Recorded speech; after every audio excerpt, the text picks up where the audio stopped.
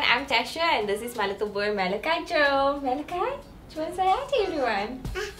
Hi hi!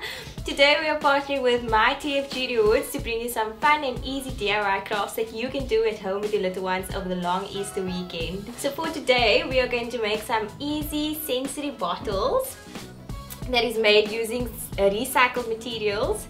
Um, you can see this one is made with water and glitter and it's so cool. Look at that! And then you have this one made with rice and sequins. And you want to make sure that it has a top um, so that you can close it and seal it.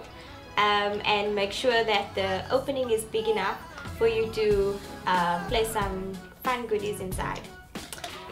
So all you need is some rice, a Ziploc bag, some food coloring, recycled bottle. We're going to pour some rice into the Ziploc bag. And then what you want to do is add your food coloring to the rice. Okay, you don't want to add too much food coloring because that will just make the rice soggy. Okay, and then we're going to mix it all together.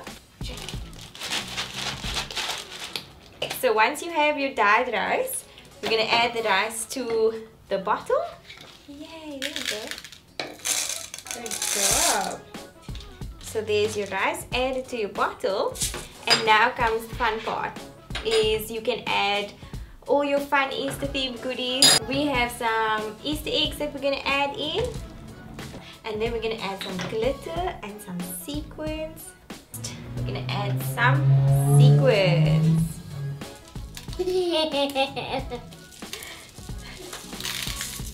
oh. And there you have it, a fun and easy sensory bottle. Um, this is actually cool because you can reuse it as a learning tool by adding any ABCs or shapes. Um, you can choose your theme. And it can also be used as a calming tool, especially these water ones, because the slow movement is quite mesmerizing.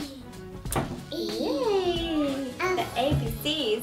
Okay, so that's it from us. Thank you for watching the video and we hope you have fun trying out these sensory bottles over the long weekend. bye everybody!